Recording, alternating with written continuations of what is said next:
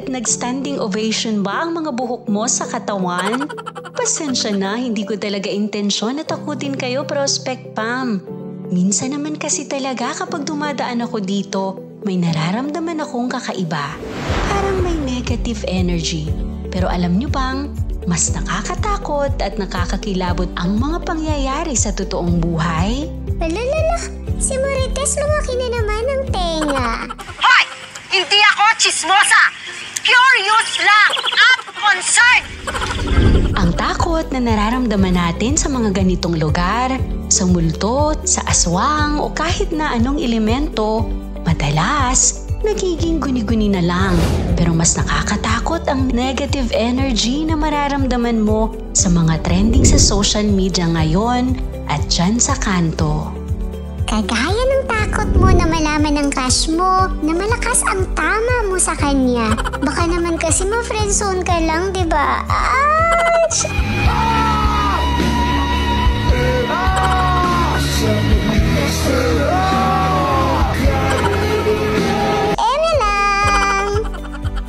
Pero mabuti sana kung stalking lang kay crush ang habol, di ba? Napapadalas kasi abangers na sa latest. Mars, anong latest? Ay, kaibigan ko doon ako mga marik kalok. O napag-uusapan para hindi raw mahuli sa pagmamarites kinabukasan. O kaya naman, hindi mahuli sa patalbugan. Huwag mong subukan. Masisira ang buhay mo. Kaya imbis na palaguin natin ang ating mga kakayahan at makipagkompetensya sa sarili lamang, nagiging kompetisyon ang pagpo-post para maging maganda at tumaas ang ere habang ipinamumukha ang kahinaan ng iba. Pero ikaw, oo ikaw. Alam kong ang kahinaan mo lang ay siya. Aminin mo na, Mare. Eme. Hiwalayan dito, hiwalayan doon. Hala, mas apektado pa tayo sa drama ni Catherine Bernardo. Pakiramdam ko, sinasayang ko lang ang buhay ko sa relasyon na to. At sa kanyang pag-move on. Pero nahihirapan tayong mag-move on sa ating mga buhay para makabangon. Minsan naman kasi talaga sa hirap ng pinagdaraanan natin, naghahanap tayo ng mapaglilibangan at makaahon sa stress na unti-unti tayong nababaon. Katulad ng ex mong ginawang libangan ang pananakit at pag-iwan sa'yo, nahirapan ka na tuloy mag-move on. Charot! Ay, pag nagsawa ka, bumalik ka sa akin! Wala. Ha? Hindi na. Mga, Hindi na pwede bumalik ka sa akin! Ganun, ga- ganun kita kamahal! Ikaw pa rin yung baby ko, ang baby ko. Ikaw pa rin yung baby ko, ang baby ko. Bashing dito, bashing doon. Nakita mo ba ang post na ito? Isang komedyante na ang nakatanggap ng award at pinarangalan, nakuha pang husgahan ng iilan. Hindi ba dapat i-celebrate ang pagkapanalo niya at maging proud dahil tunay naman talagang ginalingan? Minsan kasi masyado tayong nagiging entitled. Dapat tayo lang magaling, dapat tayo lang ang bida-bida. Kaso minsan, kakatingin natin sa kahinaan ng iba, nakalilimutan natin ang ating kahinaan, di ba?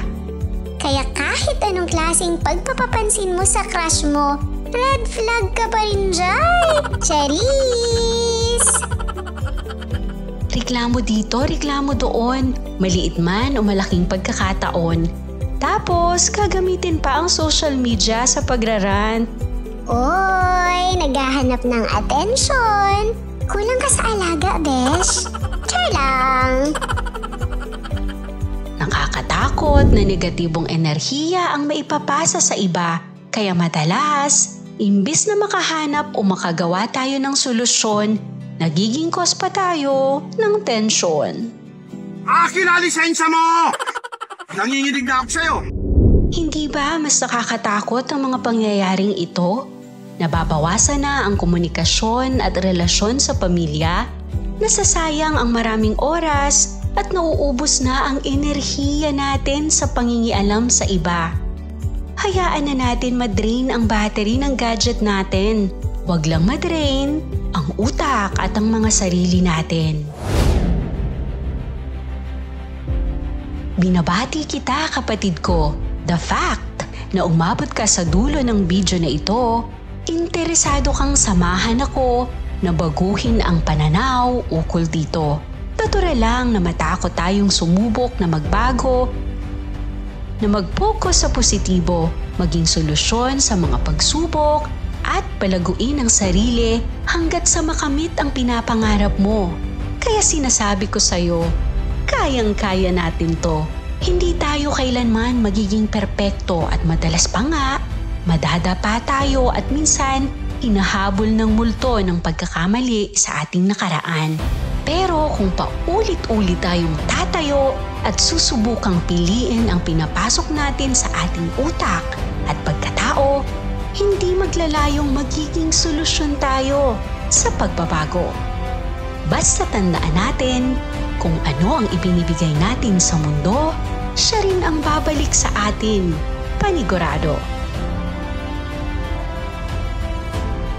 Ang lugar na ito na Don Mariano Garchitorena Mansion o Hacienda Magdalena ay nagpapakita ng maganda, elegante at magarbong pamumuhay at impluensya ng kasaysayan.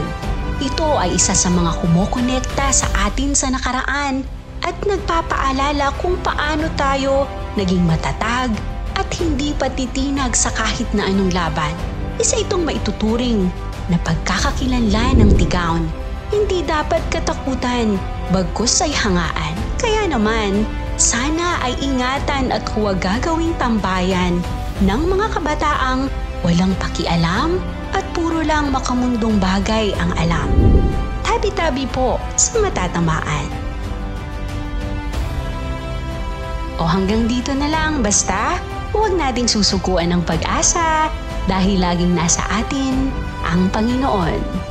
O siya, share mo na sa iba para mas may ma-inspire pa.